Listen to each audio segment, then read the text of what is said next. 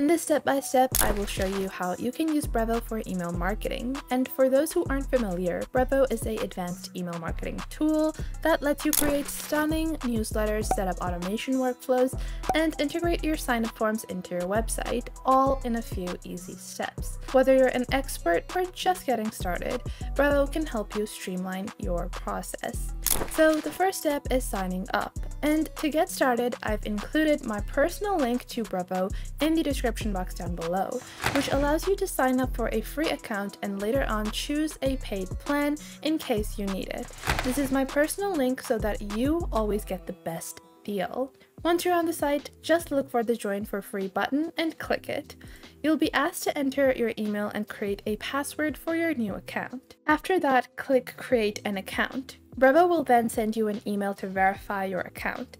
Open that email and follow the instructions to confirm your account.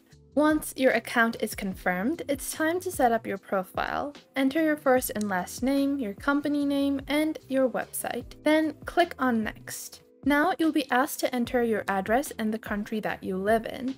Once you've entered this information, click on Next. After filling out this information, answer a few more questions about your company and the number of contacts that you have. Next, you need to validate your phone number. Enter your phone number and you will receive a verification code, and then you will enter this code into the field provided to verify your account.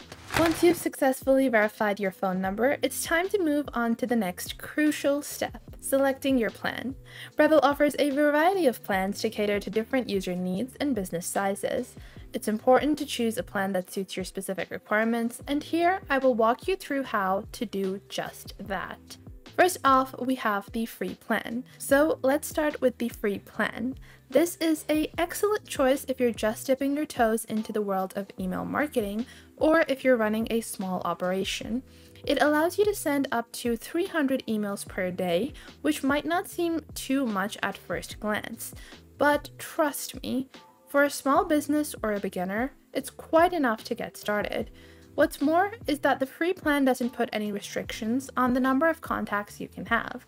So technically, you could have thousands of contacts and still use the free plan. It's a huge plus point if you're in the early stages of building your contact list. Now, if you're looking to wrap things up, you might want to consider the starter plan. This is for those of you who have a larger contact base or those who need to send out emails more frequently. Unlike the free plan, the starter plan lets you send out more emails. This is extremely beneficial if you're running more frequent marketing campaigns or if your customer engagement rate is high. One of the standout features of the starter plan is that you can remove the Brevo logo from your emails. While this might seem like a small thing, it makes a big difference in how your emails are perceived. Without the Brevo logo, your emails will look more professional and personalized. It's a small investment in building your brand identity. And remember, when choosing a plan, take into account not just your current needs, but also your future plans. A scalable plan today could save you a lot of hassle in the future as your business grows. After you've selected the plan that suits you best, you'll be all set to start using Brevo's features. The key is to take one step at a time, get comfortable with the platform, and explore everything it has to offer. It's a powerful tool that, when used correctly, can make your email marketing efforts much more efficient and effective. Once you've successfully registered, you'll land on the dashboard. And after you have signed up and selected the right plan, let's dive right into the navigation of Brevo. The dashboard is essentially your command center for all your email marketing activities, so let's get comfortable with it. Once you're logged into Brevo, you'll be welcomed by your dashboard. It's clean, intuitive, and designed with user friendliness in mind. Exploring the dashboard, on the left side of the dashboard, you will see a vertical navigation bar with various applications. These apps are your primary tools for managing your email campaigns. You'll find things like campaigns, contacts, and automation, among others. Clicking on each one of these will take you to the specific area where you can manage that aspect of your email marketing. For instance, if you want to start running a SMS campaign, you'd go into campaigns, locate SMS over here. Once you locate it, you will click on create a SMS campaign to begin creating your SMS campaign. Now, let's take another step forward in mastering Brevo by setting up a sender. This is super important because this is the from address that your recipients will see when they receive your emails. First, let me explain why this matters. Every email sent out using Brevo will have a sender attached to it. By default, this is the email address you've signed up with. However, we recommend setting up a custom sender with a custom domain. It will give your emails a more professional appearance and can help with your brand recognition. Now, let's walk through this process together. Start off by going to the Senders and IP section in your Brevo dashboard. It's located on the top right, and it says Senders and IP. It's from here that we're going to set up who your emails are going to be from. Once you're there, you'll see the email that you've used to sign up for Brevo. This is going to be your default sender. It's here that we're going to set up who your emails are from. Once you're there, you'll see the email that you used to sign up for Brevo. This is your default sender. To add a custom sender, look for Add a Sender button and click it. Now you're going to fill out a short form. You'll enter the name and the custom email you want to use. Let's say your name is John Doe and you have a domain for your business, doebusiness.com. You will enter John Doe in the name field and john at doebusiness.com in the email field. After you've filled in the details, click on the Save button. The last step in this process is to verify your email. Brevo will send you an email with a verification link, once you've verified your email, you're good to go. Your custom sender is set up. Remember, having a custom sender is a simple yet effective way to give your email campaigns a much more professional touch. It aligns with your branding and can increase recognition among your subscribers, so don't miss out on this. Alright, we've set up our sender, now let's talk about getting your contacts in Brevo. If you already have an email list elsewhere, this step will be crucial for you. If not, you can still follow along. It's always good to know when you build up your email list. Go onto your Brevo dashboard and click on Contacts over here. Here, you will see the option of import contacts. Click on that. Now, Brevo gives you two options to import contacts.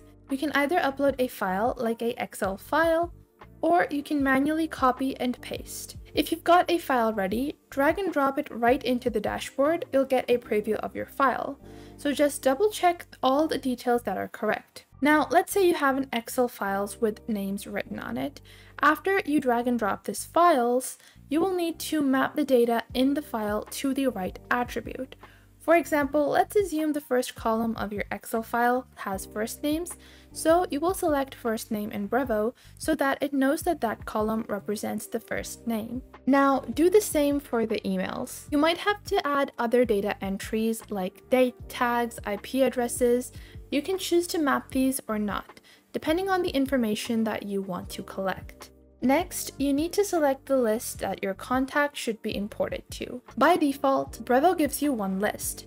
You can choose to create a new list as per your needs.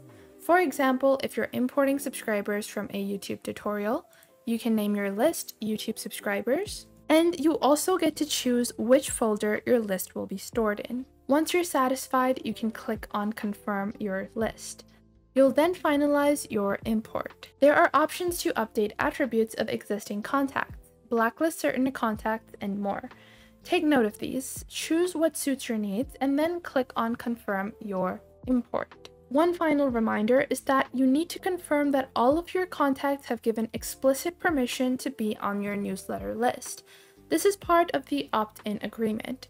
That's important to comply with. So far, we have set up our sender and imported our contacts. Now let's get into the heart of it. Let's create an opt-in form so people can subscribe to your newsletter right from your website.